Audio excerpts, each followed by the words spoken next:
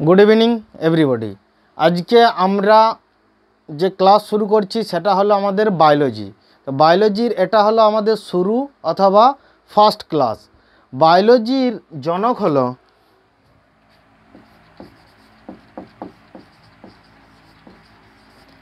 বায়োলজির জনক হলো আমাদেরকে না অ্যারিস্টেটল। ফার্স্ট আমাদের বায়োলজির জনক হলো অ্যারিস্টেটল।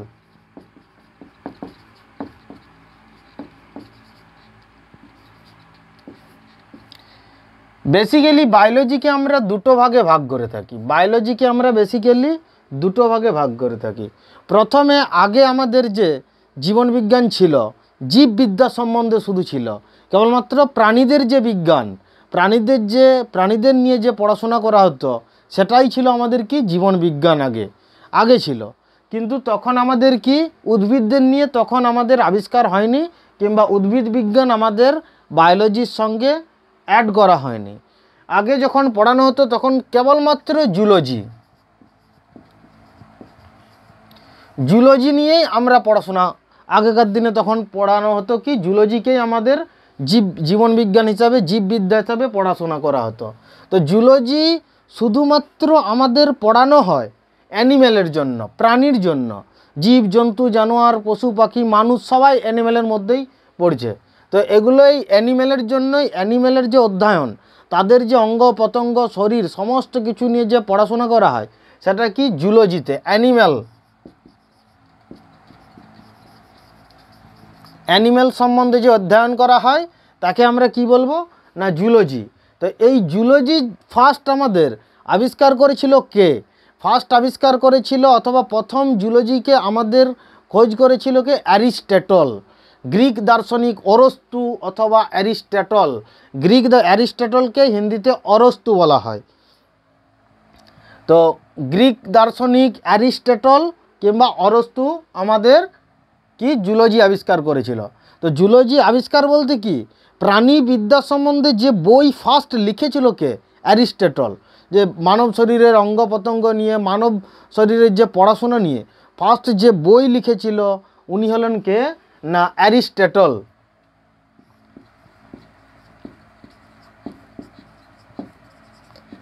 অ্যারিস্টেটল। তো জুলজির জনক অ্যারিস্টেটল, এই জন্যই জীবন জীবন বিজ্ঞানের জনক অথবা বায়োলজির জনক আমরা অ্যারিস্টটলকেই জেনে থাকি। এই জন্যই অ্যারিস্টটলকে জীবন বিজ্ঞানের জনক বলা হয় অথবা বায়োলজির জনক বলা হয়। এরপর আমাদের বিজ্ঞানের জীবন বিজ্ঞানের সঙ্গে অথবা বায়োলজির সঙ্গে আরেকটা শাখা অ্যাড করা হলো। কি? না, বটানি। বটানি। বটানিতে কি? না, আমাদের যে গাছপালা সম্বন্ধে যে পড়াশোনা করা হয়, গাছপালার যে বিজ্ঞান, অথবা উদ্ভিদের উপর যে আমাদের স্টাডি করা হয়, ফুল, ফল, গাছপালা, উদ্ভিদ, সেই স্টাডিকে আমরা কি বলে থাকি? বটানি। এই বটানির ক্লাস ওখানেই আমরা পড়াশোনা করব প্ল্যান্টের ক্ষেত্রে। প্ল্যান্ট প্ল্যান্টের ক্ষেত্রে, গাছপালা নিয়ে। তো এই প্ল্যান্টের ক্ষেত্রে আমরা যে পড়াশোনা করব প্ল্যান্ট নিয়ে, গাছপালা, উদ্ভিদ, সমস্ত কিছু নিয়ে, এগুলো কি বটানিতে আমরা পড়াশোনা করব। তো বটানির আমাদের ক্লাস চলবে মোটামুটি দেড় থেকে দু মাস, আর জুলজির ক্লাস চলবে প্রায় চার মাসের মতো। তো জুলজি ম্যাক্সিমাম কোশ্চেন আমাদের পরীক্ষায় আসে জুলজি থেকে। এজন্য জুলজির ক্লাস সব থেকে বেশি থাকবে আমাদের। আর বটানির ক্লাস আমাদের আছে কোশ্চেন থাকে বটানি থেকেও থাকে। কিন্তু বটানি আমাদের ওর টপিক ও সিলেবাস কম আছে। সেই কারণে বটানিটা আমরা সেকেন্ডে ফার্স্ট আমরা জুলজির ক্লাস শুরু করব। জুলজি কমপ্লিট হওয়ার পর আমরা বটানি স্টার্ট করব। তো এই বটানির জনক হলো থ্রিও থ্রিওফ্রেস্টাস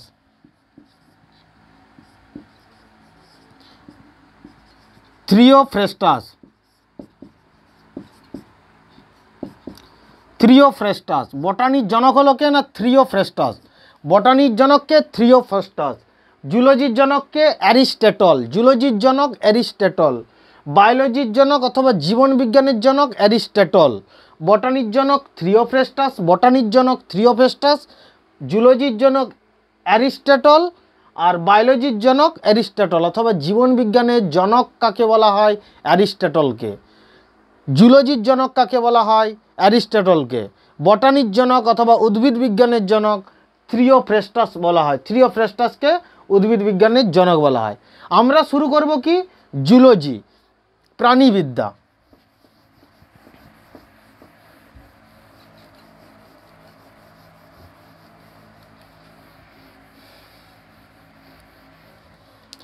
তো আমরা ফার্স্ট স্টার্ট করব জুলজি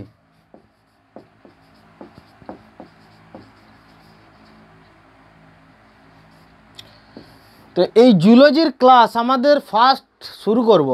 ফার্স্ট টপিক হলো আমাদের কি? সেল অ্যান্ড সেল ডিভিশন তারপর যে টপিক আসবে হিউম্যান স্কেলিটাল সিস্টেম মানব শরীরে যে আমাদের কঙ্কালতন্ত্র কঙ্কালতন্ত্র, তারপর বিভিন্ন মাসেল তার মাসেলের পর আমরা যে শুরু করব রেসপারেশন সিস্টেম রেসপারেশন সিস্টেমের পরে ডাইজেস্টিভ সিস্টেম ডাইজেস্টিভ সিস্টেমের পরে আমরা শুরু করব সেন্স অর্গান সেন্স অর্গানের পর আমরা শুরু করব ব্লাড সার্কুলেশন সিস্টেম তারপর আমরা শুরু করব সার্কুলেশন সিস্টেমের পর রিপ্রোডাক্টিভ সিস্টেম রিপ্রোডাক্টিভ সিস্টেমের পর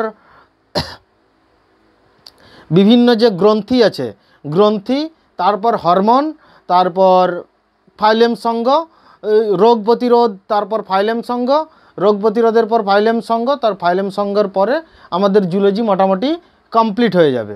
তো ফার্স্ট আমাদের যে টপিক হলো সেল অ্যান্ড সেল ডিভিশন কোষ ও কোষ বিভাজন cell and cell division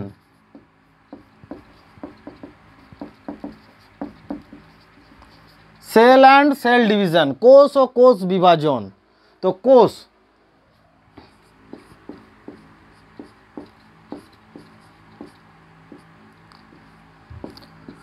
কোষ বলতে আমরা কি বুঝি? না, মানব শরীরের সবথেকে ছোট আমরা মানব শরীর নিয়েই এখানে আমরা পড়াশোনা করব, মানব শরীর নিয়ে। তো কোষ বলতে আমরা কি বুঝি? না, মানব শরীরের সবথেকে ক্ষুদ্রতম কে ক্ষুদ্রতম একককে আমরা কোষ বলে থাকি। মানব শরীরের সবথেকে ক্ষুদ্রতম স্মলেস্ট ইউনিট কি? না, কোষ। মানব শরীরের সবথেকে ক্ষুদ্রতম একক কি? কোষ। মানব শরীরের সবথেকে ক্ষুদ্রতম একক কি? কোষ। তো এই কোষ আমাদের প্রথম কে খোঁজ করেছিল এবং প্রথম কে আবিষ্কার করেছিল? ফার্স্ট প্রথম কোষের খোঁজ করেছিল? ফার্স্ট কোষ আবিষ্কার করেছিল? Robert Hooke. ফার্স্ট কোষ আবিষ্কার করেছিল কে? Robert Hooke. ফার্স্ট কোষ আবিষ্কার করেছিল কে? Robert Hooke. কিন্তু রবার্ট হুক যে কোষ আবিষ্কার করেছিল, সেটা কি? না, মৃত কোষ।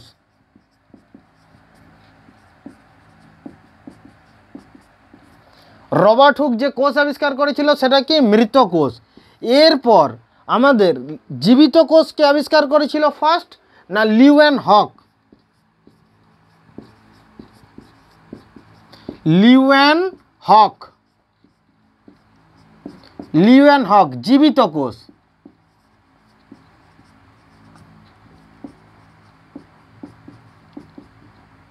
জীবিত কোষ ফার্স্ট কে আবিষ্কার করেছিল না লিউয়েন হক? মৃত কোষ ফার্স্ট আবিষ্কার করেছিল কে? Robert Hooke. তো রবার্ট হুক ফার্স্ট যে আমাদের কোষ আবিষ্কার করেছিল, সেটা কি? মৃত কোষ। এই জন্য কোষ কে আবিষ্কার করেছিল যদি কোশ্চেন আসে, তখন রবার্ট হুক মৃত কোষ আবিষ্কার করেছিল। সেই জন্য প্রথম যেহেতু কোষের খোঁজ করেছিল রবার্ট হুক, সেই কারণে কোষের জনক বলা হয় কোষ কে আবিষ্কার করেছিল? রবার্ট হুক বলা হয়। তো তারপর জীবিত কোষকে আবিষ্কার করেছিল না লিউয়েন হক? এরপর স্লাইডেন এবং সোয়ান। স্লাইডেন এবং সোয়ান।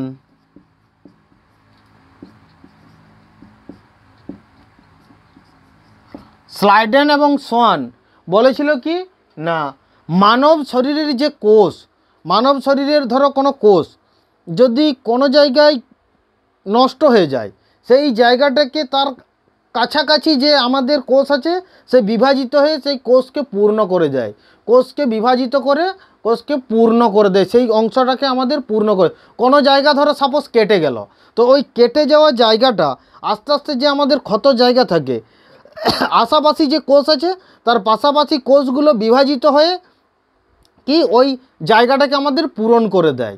তো এটা আমাদের কে বলেছিল না? স্লাইডেন এবং সোয়ান। তো স্লাইডেন এবং সোয়ান কি বলেছিল না? মানব শরীরের প্রত্যেকটা মানব শরীর পুরোটাই কি? কোষে কোষের সমষ্টি। বিভিন্ন জায়গায় কোষ কোষ কোষের সমষ্টি। ছোট ছোট কোষ দিয়ে মানব শরীরের তৈরি পুরো অঙ্গ। চুলের জন্য যেমন আলাদা সেল আছে। চুল আমাদের ছোট ছোট ছোট ছোট কোষ দিয়ে তৈরি। আমাদের এই যেমন চামড়ার জন্য কোষ দিয়ে তৈরি, হাড় আমাদের যে আমাদের যে বোন অথবা হাড় যে তৈরি হয়েছে, সেটা কি ছোট ছোট ছোট ছোট কোষ দিয়ে তৈরি হয়ে আছে।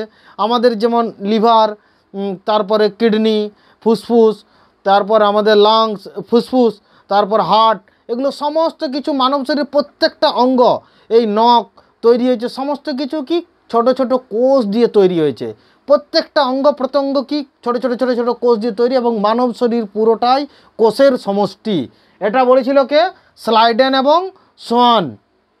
স্লাইডেন এবং সোয়ান, যে কোনো জায়গা যদি আমাদের কেটে যায়, তার পাশাপাশি যে আমাদের যে কোষগুলো থাকে, তারা বিভাজিত হয়ে সেই ক্ষত অংশকে পূর্ণ করে কে? সেটা বলেছিল, কে বলেছিল? স্লাইডেন এবং সোয়ান। তো মানব শরীর যেমন আমাদের তৈরি হয়েছে, এটা কীভাবে?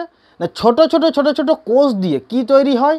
আমাদের ছোট ছোট যেমন কোষ দিয়ে, যেমন ছোট ছোট ইট দিয়ে।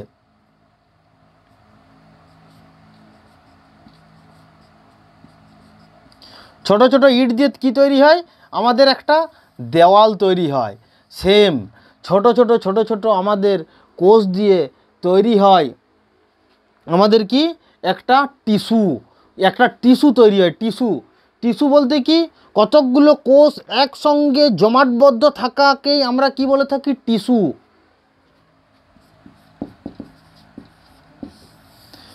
টিস্যু। কতকগুলো কোষকে একসঙ্গে জমাটবদ্ধ অবস্থায় একসঙ্গে পাশাপাশি পাশাপাশি টাচ হয়ে একসঙ্গে থাকাকে আমরা টিস্যু বলে থাকি। যেমন নখের জন্য আমাদের ওখানে যে কোষগুলো আছে, একসঙ্গে আছে সেই কোষগুলো, তাকে আমরা একটা টিস্যু বলে থাকছি। যেমন এই আমাদের চামড়ার জন্য যে কোষ আছে সেটাকে আমরা একটা টিস্যু বলে থাকছি ছোট ছোট কোষ এক জায়গাতে জমাটবদ্ধ অবস্থায় থাকছে। তাকে টিস্যু বলে থাকছি তো এই কতকগুলো টিস্যু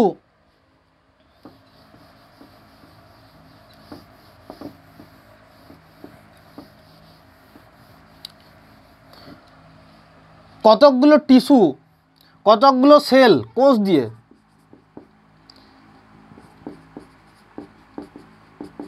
কোষ দিয়ে কি তৈরি হয় না? টিস্যু। কতকগুলো টিস্যু দিয়ে কি তৈরি হয় না একটা অর্গান অথবা অঙ্গ?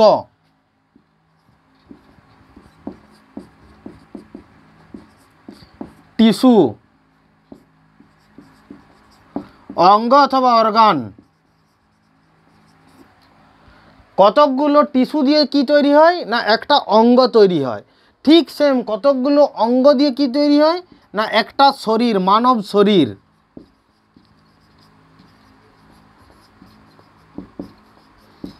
মানব শরীর হিউম্যান বডি মানব শরীর শরীর তৈরি হয়। যেমন, ছোট ছোট ছোট ছোট কতকগুলো ইট দিয়ে কি তৈরি হয়? একটা দেওয়াল। যেমন, ছোট ছোট কতকগুলো ইট দিয়ে যেমন একটা দেওয়াল তৈরি হয়, তেমনি ছোট ছোট কতকগুলো কোষ দিয়ে তৈরি হয় কি? একটা টিস্যু। যেমন কতকগুলো দেওয়াল দিয়ে তৈরি হয় কি? একটা রুম। কতকগুলো দেওয়াল দিয়ে যেমন তৈরি একটা রুম, সেই রকম কতকগুলো টিস্যু দিয়ে তৈরি হয় কি? একটা অঙ্গ। যেমন কতকগুলো রুম দিয়ে কি তৈরি হয় না, একটা সম্পূর্ণ বাড়ি তৈরি হয়, সেই রকম কতকগুলো অঙ্গ দিয়ে কি তৈরি হয় না, একটা মানব শরীর। একটা মানব শরীর। এই যে আমাদের এটা বলেছিল কে? স্লাইডেন এবং সোয়ান। মানব শরীর আমাদের ছোট ছোট ছোট ছোট কোষ দিয়ে তৈরি। সেম। যেমন কতকগুলো ইট দিয়ে আমাদের ছোট ছোট ইট দিয়ে তৈরি হয় একটা দেওয়াল, সেই রকম ছোট ছোট কতকগুলো কোষ দিয়ে তৈরি হয় আমাদের কি? একটা টিস্যু তৈরি হয়। কতকগুলো, একটা টিস্যু তৈরি হয়। কতকগুলো টিস্যু দিয়ে আমাদের যেমন একটা অঙ্গ তৈরি হয়, তেমনি ছোট ছোট এই কতকগুলো দেওয়াল দিয়ে আমাদের তৈরি হয় কি? একটা রুম। কতকগুলো দেওয়াল দিয়ে তৈরি হয় একটা রুম। সেই রকম কতকগুলো টিস্যু দিয়ে কি তৈরি একটা অর্গান মানে অঙ্গ। কতকগুলো আমাদের রুম দিয়ে তৈরি হয় কি একটা বাড়ি। সেই রকম কতকগুলো অঙ্গ দিয়ে তৈরি হয় আমাদের কি একটা মানব শরীর। তেমনি সেই মানব শরীর আমাদের তৈরি হচ্ছে কি না কতকগুলো অঙ্গ নিয়ে। যে এই সিদ্ধান্তটা যিনি দিয়েছিল, তার নাম হলো স্লাইডেন এবং সোয়ান। মৃত কোষ আবিষ্কার করেছিল রবার্ট হুক। কোষকে আবিষ্কার করেছিল রবার্ট হুক। জীবিত কোষকে আবিষ্কার করেছিল লিওয়ান হক।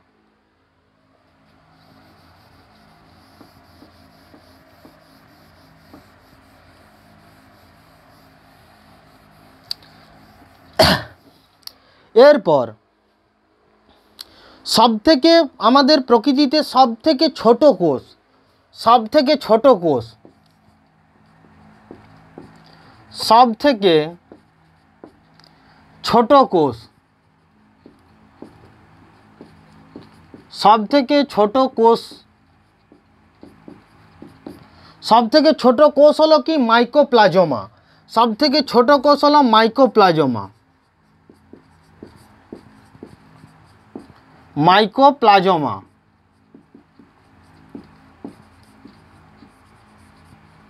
সব থেকে ছোট কোষের নাম কি না মাইকোপ্লাজমা?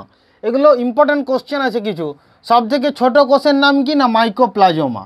সব থেকে বড় কোষের নাম কি? সব থেকে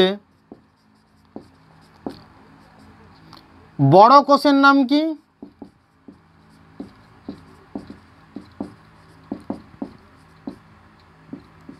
সব থেকে বড় কোষের নাম হলো কি? না, উট পাখির ডিম।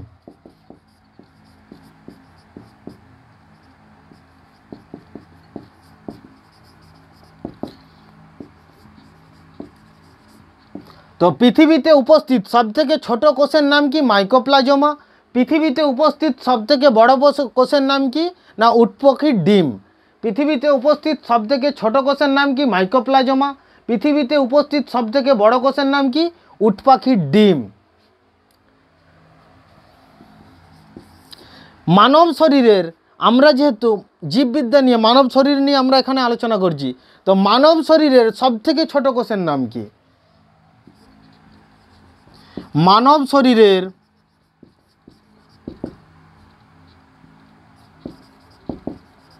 সব থেকে ছোট কোষ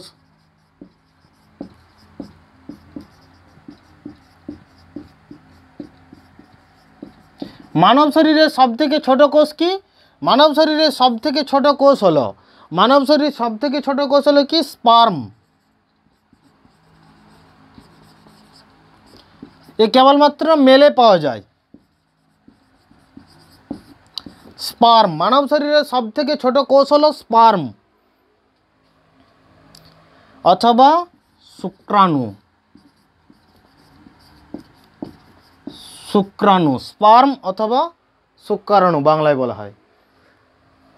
তো মানব শরীরের সব থেকে বড় কোষ হলো মানব শরীরের।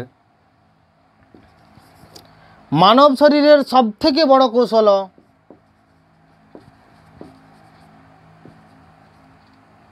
মানব শরীরে সব থেকে বড় কোষ হলো মানব শরীরের সবথেকে বড় কোষ। মানব শরীরের সবথেকে বড় কোষ ওভাম। ওভাম অথবা ডিম্বাণু। ফিমেলে পাওয়া যায়।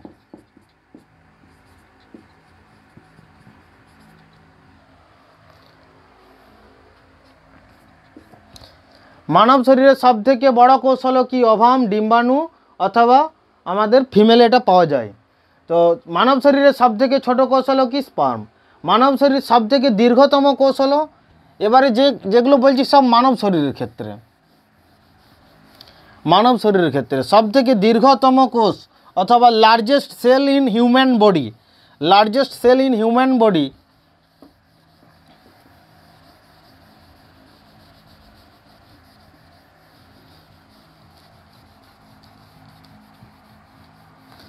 largest cell in human body সবথেকে দীর্ঘতম কোষ।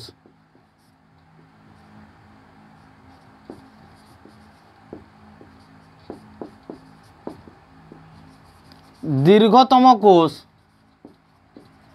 সব থেকে লম্বা কোষ। সব থেকে লম্বা কোষ। আমাদের যে neuron cell neuron cell neuron কোষ অথবা নিউরন সেল। নিউরন কোষ অথবা নিউরন সেল সব থেকে দীর্ঘতম কোষ। মানব শরীরের সব থেকে দীর্ঘতম কোষ হলো নিউরন কোষ।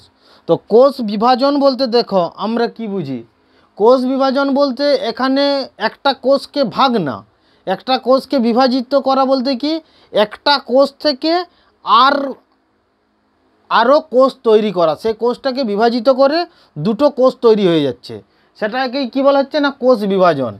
যেমন এই কোষটা যদি আমরা বিভাজিত হয়ে আরও আলাদা আলাদা দুটো কোষ ছোট ছোট সেল থেকে বড় সেল তৈরি করে নেবে। তো এগুলোকে বলা হচ্ছে কোষ। এটা বিভাজিত হয়ে আবার এই দুটো তৈরি করবে, কে দুটো তৈরি করে নিল। এভাবে এটাকে আমাদের কোষ বিভাজন বলা হয়। যেমন একজন আমাদের কি? মহিলা। সে যখন সন্তান জন্মগ্রহণ করে, সে নিজে থেকে আর একটা মহিলাতে সম্পূর্ণরূপে সে তৈরি করে দেয়। এটাকে তার কোষ বিভাজন বলা হচ্ছে। এটা তার বিভাজিত হচ্ছে। ঠিক সেই রকম একটা কোষ আরও যখন সে কোষ তৈরি করে দেবে, সেটাকেই কোষ বিভাজন। এগুলো যখন আলাদা আলাদা বিভাজিত, আরও দুটো আলাদা আলাদা কোষ তৈরি হয়, তো কোষ বিভাজন বলতে এরকম বোঝায়। এগুলো ছোটো থেকে আস্তে আস্তে আস্তে আস্তে বেড়ে যাবে। তো এই কোষ বিভাজন সব থেকে কোষ বিভাজন বেশি হয় কোথায়? সব থেকে বেশি কোষ বিভাজন হয় আমাদের কোথায়? না, লিভারে। সবথেকে বেশি কোষ বিভাজন হয়? সবথেকে বেশি সব থেকে বেশি কোষ বিভাজন হয়?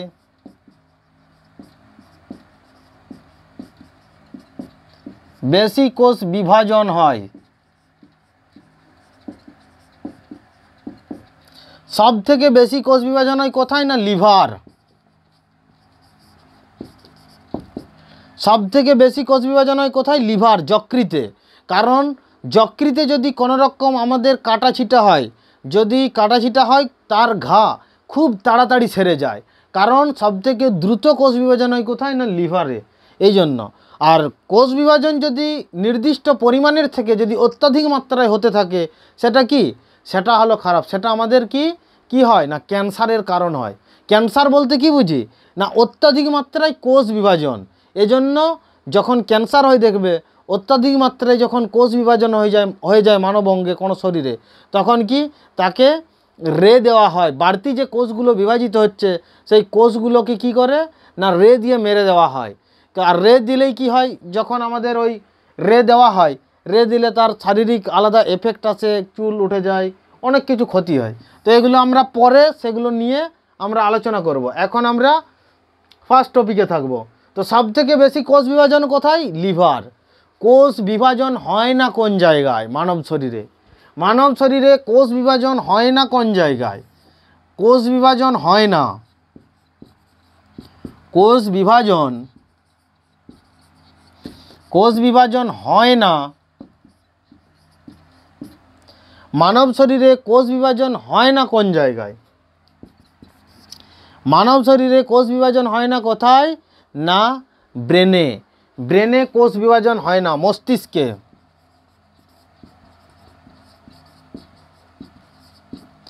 ব্রেন। ব্রেনে কি কোষ বিভাজন হয় না?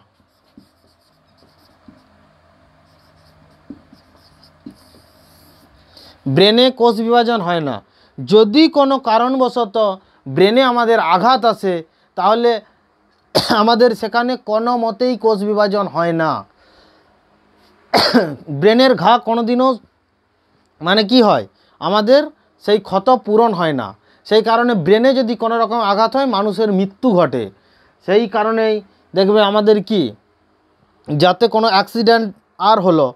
তো অ্যাক্সিডেন্ট হওয়ার সময় কি হয়? না সব থেকে আমাদের যদি আঘাত ব্রেনে যদি লাগে, তাহলে ব্রেনে আঘাত লাগা মানে তার মৃত্যু অনিবার্য। ধরে নাও তার মৃত্যু অনিবার্য। তো ব্রেনের উপরে আমাদের মেনিনজাইটিস থলি থাকে। মেনিনজাইটিস থলির উপরে আমাদের ক্রেনিয়ার যে হাড় আছে ক্রেনিয়া যে মাথার খুলি, আমাদের ক্রেনিয়া হাড় প্রোটেক্ট করে রাখে, ওখানে আঘাত হলো ঠিক হয়ে যাবে। তারপর যে আমাদের চামড়ার পর্দা আছে, সেটাতে হলো ফার্স্ট আমাদের চুলের পরে চামড়ার একটা পর্দা রয়েছে, এই চামড়ার পর্দা মাথাতে এটাতে আঘাত হলো, তাও সেরে যাবে।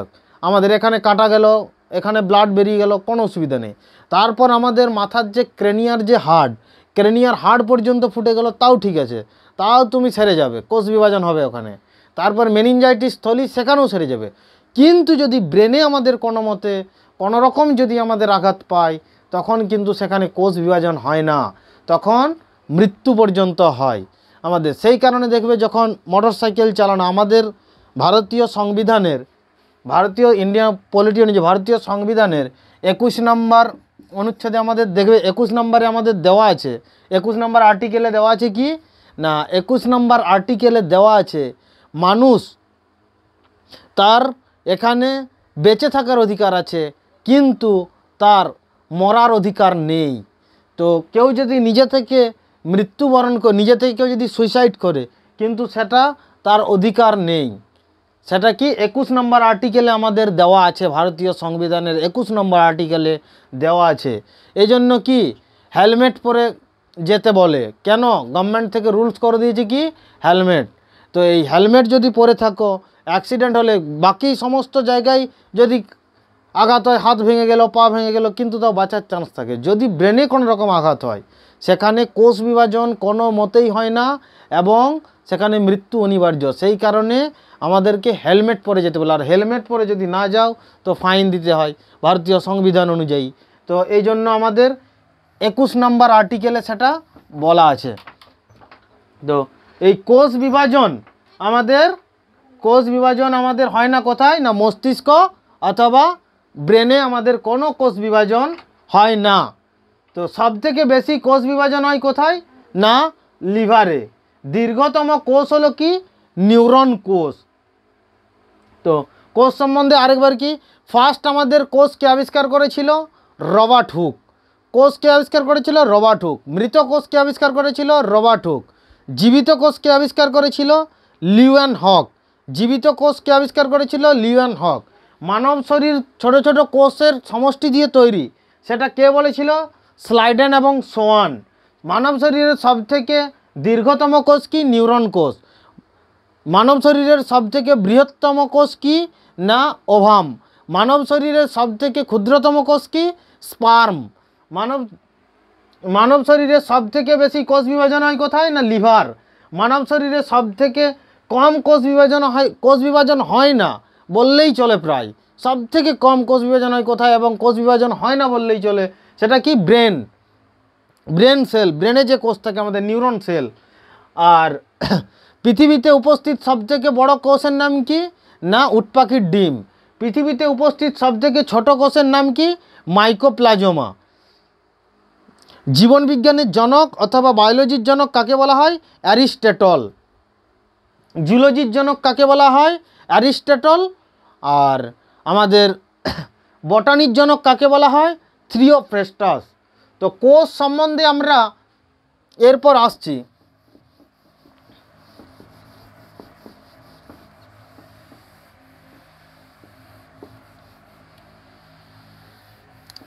সেল।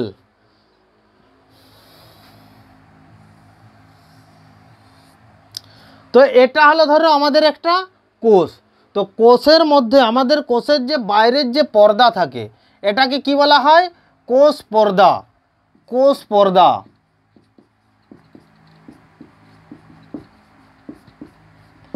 কোষ পর্দা। কোষ পর্দা কিসের তৈরি হয়? না, প্রোটিনের তৈরি হয়। কোষ পর্দা কিসের তৈরি হয়? না প্রোটিনের তৈরি হয়। এটা কিসের তৈরি হয়? প্রোটিন। কোষ পর্দা তৈরি হয় কিসের? না প্রোটিন দিয়ে তৈরি হয় কোষ পর্দা। তো আমাদের যে কোষ, কোষের বাইরের যে অংশ, তাকে কি বলা হয়? কোষ পর্দা। সেটা কি দিয়ে তৈরি হয়? না প্রোটিন দিয়ে তৈরি হয়। কোষ পর্দা কি দিয়ে তৈরি হয়? প্রোটিন দিয়ে। তাকে কি বলা হয়? না কোষ পর্দা, কোষের যে বাইরের যে অংশ, তাকে কি বলা হয়? না কোষ পর্দা।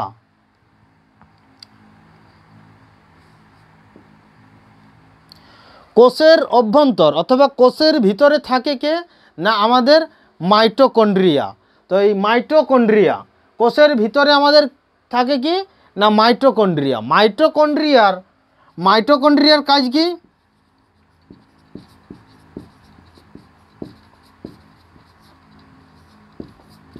মাইটোকন্ড্রিয়া।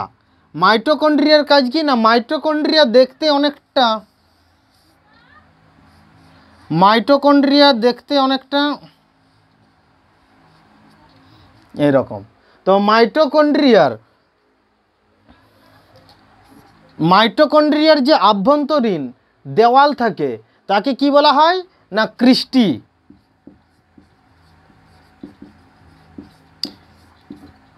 মাইটোকন্ড্রিয়ার যে আভ্যন্তরীণ দেওয়াল থাকে, তাকে কি বলা হয়? ক্রিস্টি মাইটোকন্ড্রিয়ার কাজ কি? না অক্সিজেন মানব শরীর থেকে, মানব শরীরে যে আমাদের শ্বাস প্রশ্বাস নিচ্ছি, এখান থেকে আমরা যে অক্সিজেন নিচ্ছি, ওই অক্সিজেন আমাদের ফুসফুস থেকে ফুসফুসে যাচ্ছে। ফুসফুসের যেমন মানব শরীরে যেমন নাক দিয়ে আমরা এখানে নাসা ছিদ্র, নাসা কপাট ফ্যারিংস ল্যারিংস ট্রাকিয়া তারপরে bronchi bronchioles bronchi bronchioles alveoli ওখানে অ্যালভিওলি থেকে আমাদের কি? ওখানে যেমন চলে আসছে আমাদেরকে রক্তকে নিয়ে চলে যাচ্ছে কোষে কোষে কে নিয়ে যাচ্ছে? না, হিমোগ্লোবিন। তো ওখানে অ্যালভিওলিতে আমাদের অক্সিজেন নিয়ে নিচ্ছে। ওই অক্সিজেনকে আমাদের কোথায় নিয়ে যাচ্ছে? কোষকে পৌঁছাচ্ছে কে? হিমোগ্লোবিন। তো ওই হিমোগ্লোবিন আমাদের নিয়ে যাচ্ছে কোষে। তো ওই কোষে যে অক্সিজেন আসছে, অক্সিজেনকে অ্যাকচুয়ালি শোষণ করছে কে? না, এই মাইট্রোকন্ড্রিয়া তো অক্সি শোষণ করে কে? অক্সি শোষণ করে কে?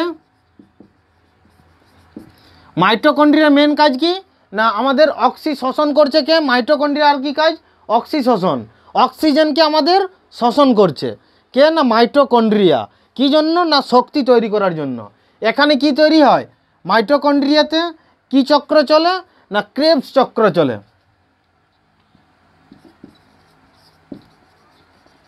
ক্রেবস চক্র চলে ক্রেবস চক্র। তো মাইটোকন্ড্রিয়ার আন্তরিক ভিতরে অভ্যন্তরীণ দেওয়ালকে কি বলা হয়? ক্রিস্টি তো মাইটোকন্ড্রিয়া কে আবিষ্কার করেছিল? মাইটোকন্ড্রিয়া অল্টম্যান মাইটোকন্ড্রিয়া কে আবিষ্কার করেছিল? অল্টম্যান মাইটোকন্ড্রিয়া কে আবিষ্কার করেছিল? অল্টম্যান সাপোজ আমি এখানে কোষকে এত বড় আকারে দেখিয়েছি, ঠিক আছে এখানে। কিন্তু কোষ কিন্তু বাস্তবে এত বড় হয় না। কোষ আমরা মাইক্রোস্কোপ যন্ত্রের সাহায্যে দেখা হয়। সেটাকে আমি বড়ের মাধ্যমে বড় করে দেখিয়েছি সেটাকে। এখানে ধরো জুম করে দেখানো হয়েছে। এগুলো মাইক্রোস্কোপ যন্ত্রেই দেখা যায়। মাইটোকন্ড্রিয়া কোষের আভ্যন্তরীণ অংশ।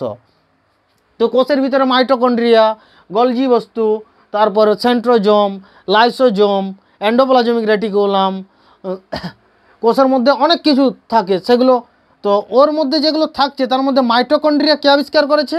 অল্ট ম্যান তো মাইটোকন্ড্রিয়া কি অক্সিজেনকে মানব শরীরের কি করছে? শোষণ করছে। মাইটোকন্ড্রিয়ার কি? যে আভ্যন্তরীণ দেওয়াল তাকে কী বলা হয়? ক্রিস্টি মাইটোকন্ড্রিয়া আভ্যন্তরীণ দেওয়ালকে কী বলা হয় না? ক্রিস্টি তো মাইটোকন্ড্রিয়ায় যে চক্র চলে, যে একটা সাইকেল চলে, তাকে ক্রেবস চক্র বলা হয়।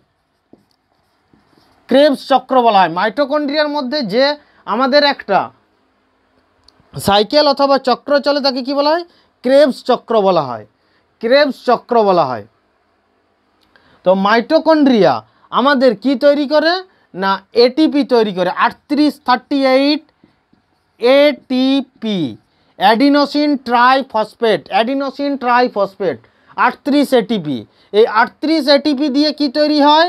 না, গ্লুকোজ তৈরি হয়। এক গ্রাম গ্লুকোজ তৈরি হয়।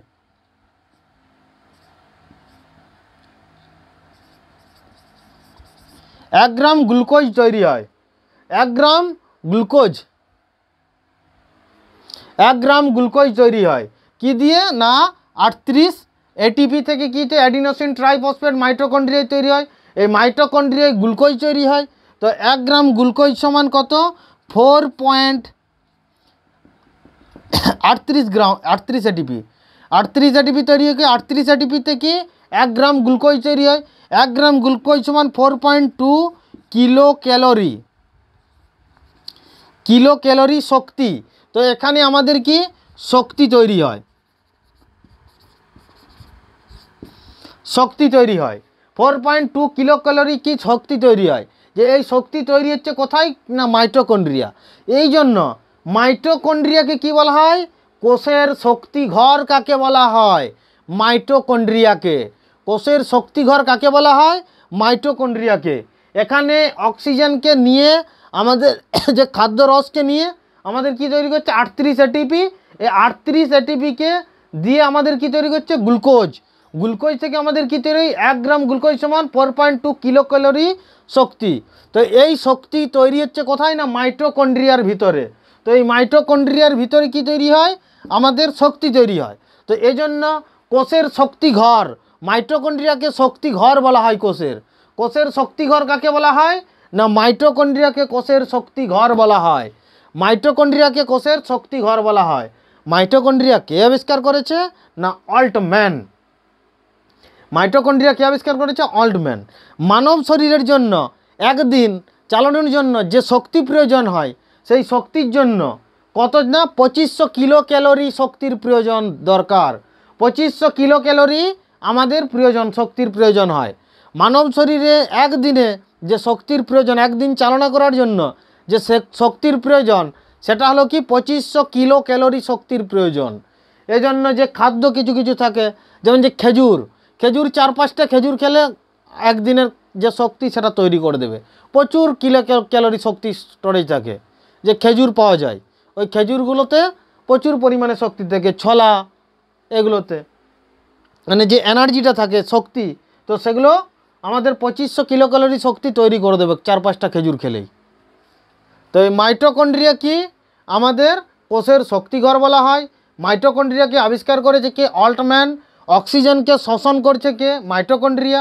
মাইটোকন্ড্রিয়ার ভিতরের যে আন্তরিক দেওয়াল আছে তাকে কি বলে? ক্রিস্টি মাইটোকন্ড্রিয়া যে সাইকেলের মাধ্যমে আমাদের শক্তি তৈরি করে, সেই সাইকেলকে কি বলা হয়? ক্রেবস সাইকেল অথবা ক্রেবস চক্র বলা হয়। তো মাইটোকন্ড্রিয়া।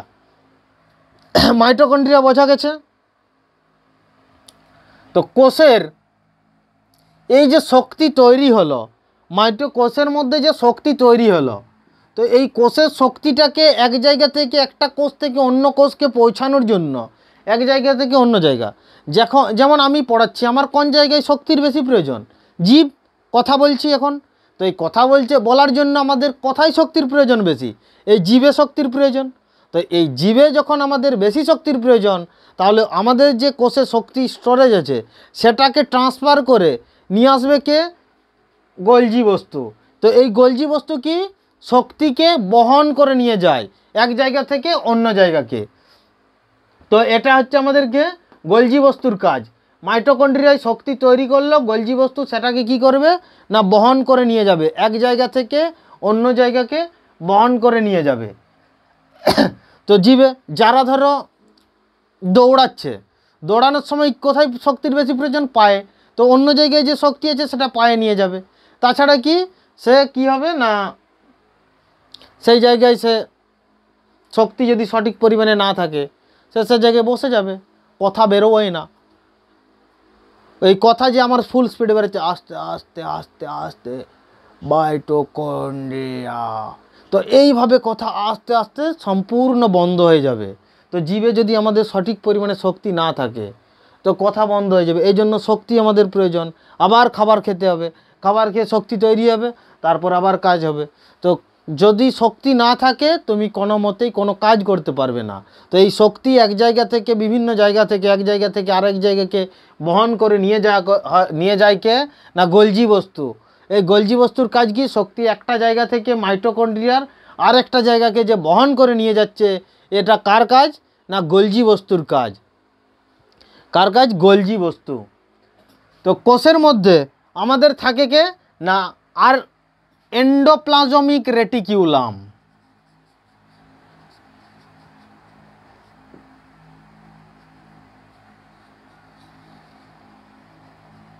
এন্ডোপ্লাজমিক রেটিকিউলাম তো এই এন্ডোপ্লাজমিক রেটিকিউলাম আমাদের প্রধানত দুটো অংশে বিভক্ত করা হয়।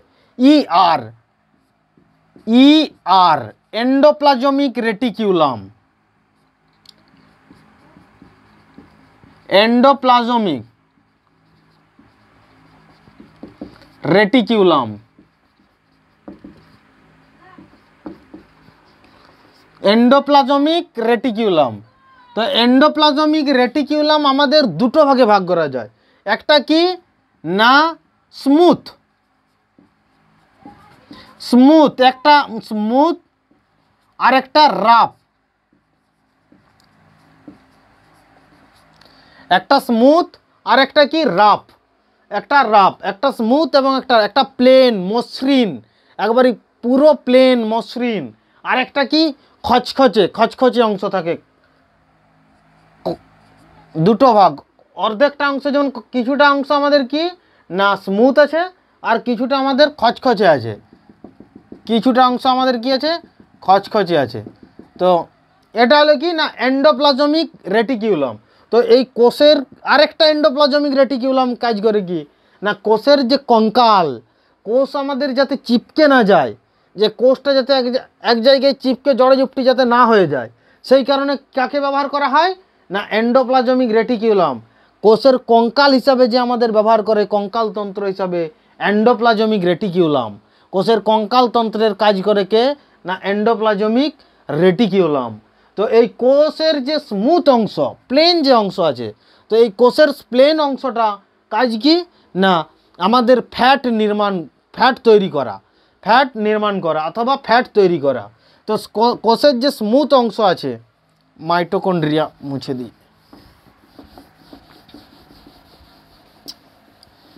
কোষের যে আমাদের স্মুথ অংশ আছে,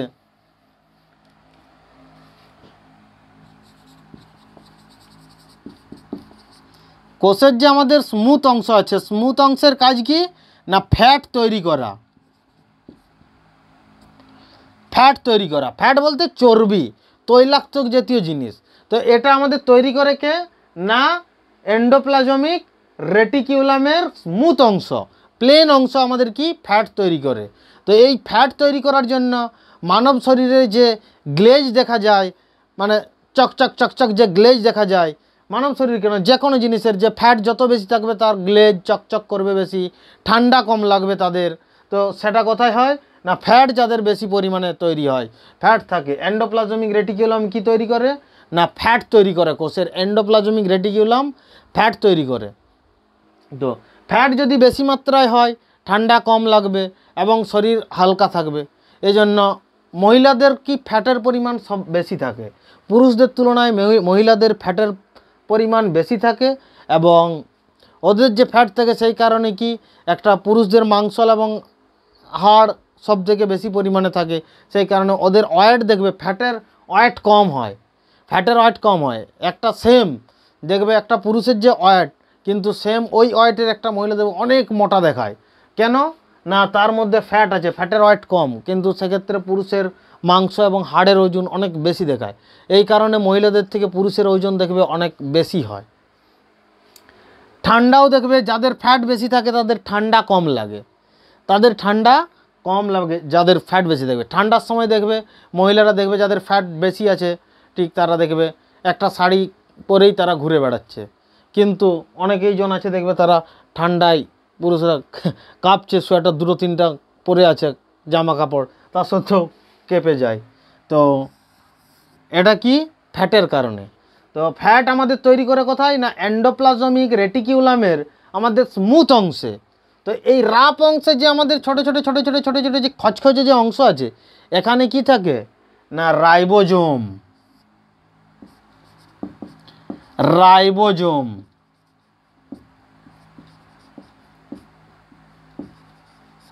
রাইবোজোমের মধ্যে কি থাকে? রাপ অংশে, যে খচখচে অংশে। সেখানে রাইবোজোম। রাইবোজোম থাকে, খচখচে অংশের মধ্যে কি থাকে? রাইবোজোম। রাইবোজোম কি তৈরি করে? না প্রোটিন তৈরি করে। মানব শরীরে প্রোটিন তৈরি করে কে? না রাইবোজোম।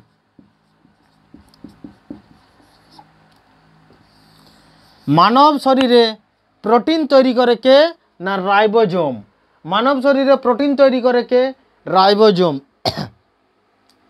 মানব শরীরের মধ্যে প্রোটিন তৈরি করে কে? রাইবোজোম।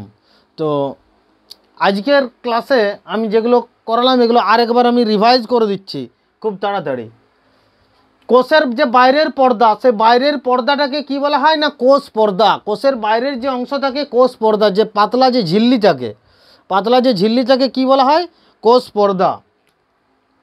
আর ওই কোষ পর্দা কী দিয়ে তৈরি না প্রোটিন দিয়ে তৈরি? কোষের যে বাইরের যে পর্দা থাকে পাতলা সেটা কী দিয়ে তৈরি? না কোষ পর্দা, প্রোটিন দিয়ে তৈরি? কোষের যে ভিতরে আমাদের থাকে মাইটোকন্ড্রিয়া। তো মাইটোকন্ড্রিয়া কে আবিষ্কার করেছে? মাইটোকন্ড্রিয়া অল্টম্যান আবিষ্কার করেছে।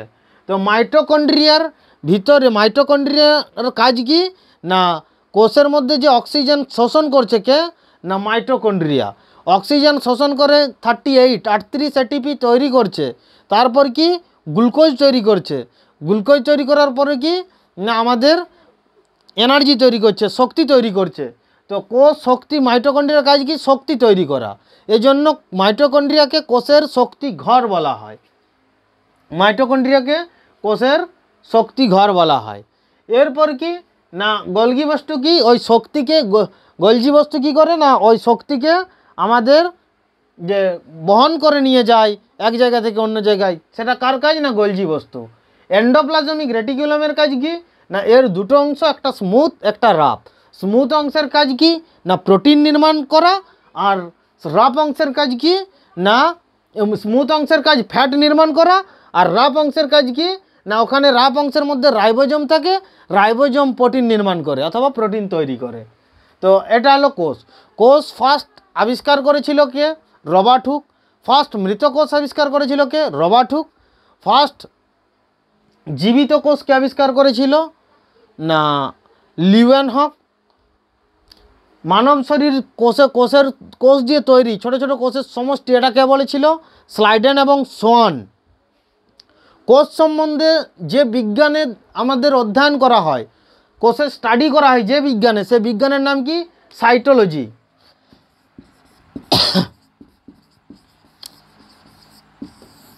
সাইটোলজি কোষ সম্বন্ধে অধ্যয়ন করা হয় যে বিজ্ঞানের সাহায্যে, সেই বিজ্ঞানের নাম কি? সাইটোলজি।